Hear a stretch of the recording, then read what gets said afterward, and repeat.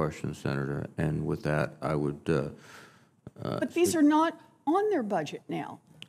uh, I think there, the time has expired. Thank you very much. Senator Schmitt, and I'd like Senator Rosen will uh, preside as I go to the Appropriations Committee. Senator Thank- Schmitt, please. Thank you, Mr. Chairman. Uh, And I want to thank you both for being here. I would note to the committee that both of these witnesses have Missouri ties, so, um, and Missouri roots. It's uh, my belief, and I've talked about a little bit in this, in this committee before, that, that too few people, quite frankly, understand uh, the urgency, the gravity, and the proximity of the threat that the PRC, China, poses to the United States of America. Um, They are rapid development as, you know, being a militarized power now, and um, projecting that power is very real. And it's that proximity that I want to ask both of you separate questions about, uh, given your, your, um, uh, your roles. The Belt and Road Initiative clearly is a, um, is an initiative to further their economic, militaristic, and political goals. And the dual use that they get out of this once they're involved with these countries is, is very real.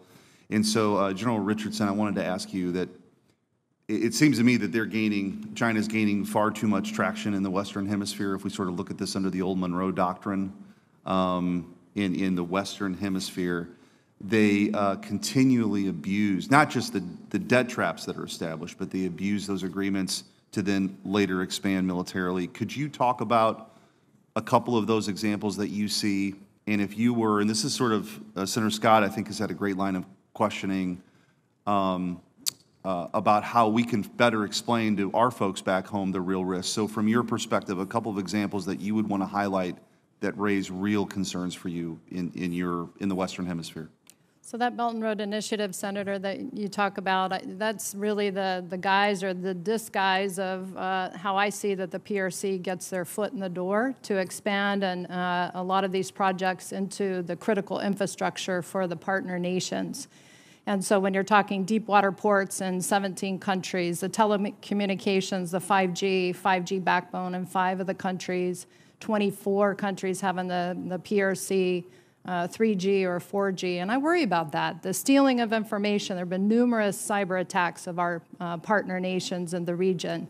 And uh, you have a communist nation that doesn't respect the human rights of their own people with Huawei and ZTE um, and fostering this out to all of the other partner nations across the globe, not just in my region. Uh, so they don't respect the human rights of their own people. They're not going to respect the human rights of every other nation. And so that's a huge concern in terms of the uh, telecommunications. The space, space infrastructure, 11, uh, 11 space enabling infrastructure sites in five countries in the region as well. So it's very, very concerning, especially with the dual use uh, that they, they come in, they're state owned enterprises from the PRC, which means that they can be used for ap- uh, military application at a later date if needed or wanted.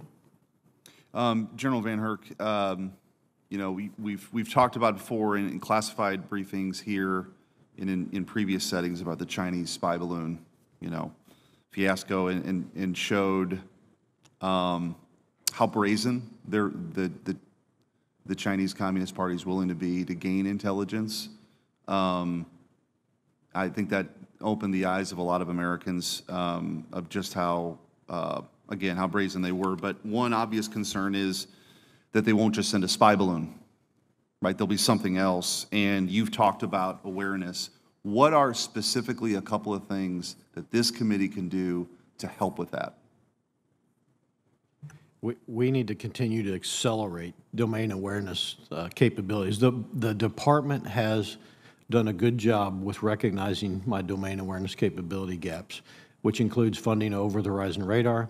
But we need to think differently about how we field capabilities in a more timely and rapid manner using uh, digital technology we have today, vice industrial age processes. And you can help with encouraging that and moving forward with that, and also encouraging testing, development, and when there are failures, uh, let's not stop everything. Let's move forward more quickly to the field and, and rapidly develop capabilities.